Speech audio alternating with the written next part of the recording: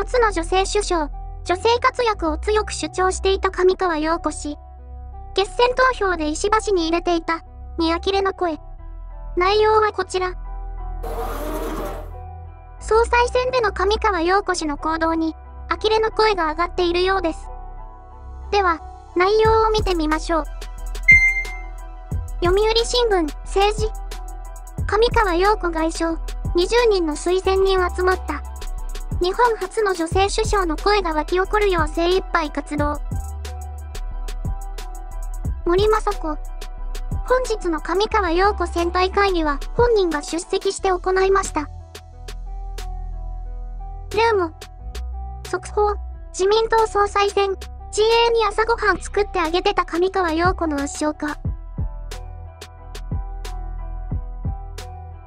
このように、総裁選で女性を前面に打ち出していた上川氏。しかし実際は、新藤かな港区議会議員無所属。史上初の女性総理誕生をスローガンに掲げ活動していた陣営が、最終決戦では女性である高市早苗さんに投票しない。自分たちが認める多様性しか認めない。そんなダブルスタンダードを堂々とやってのける軸のぶれた卑怯な姿を、国民はしっかり見ていますよ。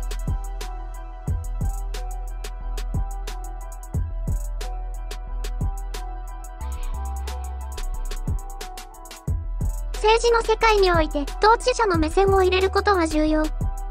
無論、女性だからといって投票するわけではない。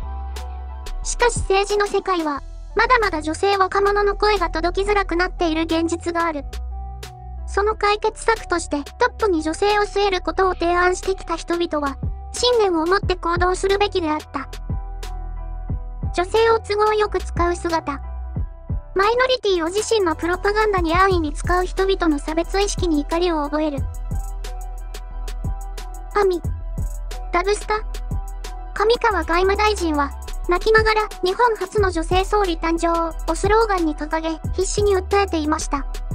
ところが、決選投票で女性である高市氏に投票せず、石破氏に投票しました。は？国民に訴えておきながら自分は実践しない。ふざけたダブスタおばさんだと思いませんか？ダブスタが過ぎますよ。やはり、政治家のアピールなんて信用できませんね。では次に、ネットユーザーの声の一部を見てみましょう。まずはこちら。女性活躍と言っておいて、決選投票に残った女性候補を見捨てるのはおかしい。上川が決選投票で高市に入れてなかったのはとんでもないことだぞ。上川の女性のは口先だけ。くだらない。上川はやってしまったな。活動家の心理構造と一緒やん。しかも、推薦人の半分は麻生派。麻生さんの運をあらで返した。嫉妬に狂ったただの左翼です。次の選挙で引退してもらいましょう。上川氏には、二度と女性を出しに使わないでほしいですね。次はこちら。上川陽子は、あれだけ女性活躍が重要とか言っておいて、決選投票に残った女性候補の高市早苗ではなく、男性候補の石破茂に投票していたとはな。女の敵は女とはよく言ったもんだ。上川は女性活躍を掲げていたのに、女性の高市を裏切ったってことで叩かれまくってるから、次はないな。女の敵は女を字でやっちゃいましたね。初の女性首相は自分じゃなきゃダメだと思っているのかな。次の選挙は女性票も減りそうですが、おむすびおばさん呆れ。女を武器にする女は嫌われる。上川氏。次はないでしょうね。次はこちら。名前を売ってもらった麻生氏にも恩をあられ返しました。ただの棒読み大臣のくせに自己評価は高く、女性初の総理大臣は自分との意識が強いのでしょうね。上川氏は、自分が女性最初の総理誕生でなければ嫌なんでしょう。このスローガンは、自分のためだけに掲げました。中国深セン日本男児視察事件が起きても、ヘラヘラしながら中国にこびる奴が何言ってんだか。日本人を守らない奴など、マジでいらないね。議員の資質じゃなくて、人間としての資質が欠如してる。大臣の仕事もできず、長いものに尻尾を振る。情けないよな。所詮岸田と同じ高知会なので、反高市でまとまった自民党議員。国益よりも利権と身の保身。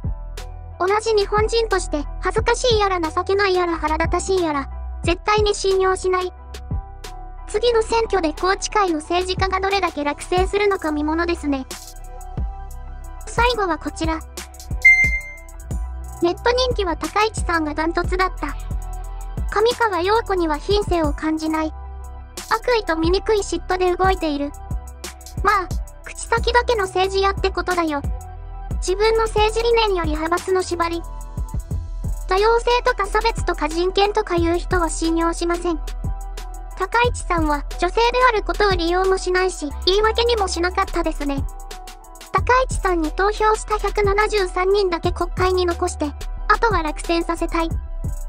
同じ女性でも、高市氏と上川氏では器が違いすぎますよ。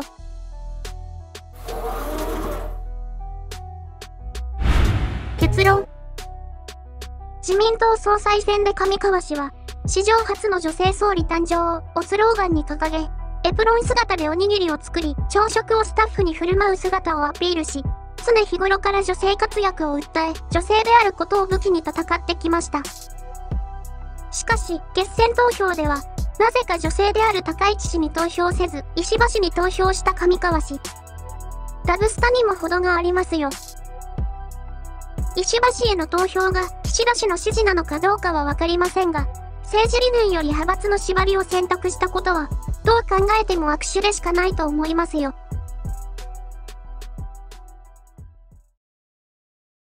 ご視聴いただき誠にありがとうございました。まだチャンネル登録がお済みでない方がいらっしゃいましたら、チャンネル登録していただけますと、今後のチャンネル運営継続と、質向上のための励みになります。ぜひ、この機会に、チャンネル登録のほど、どうぞよろしくお願いいたします。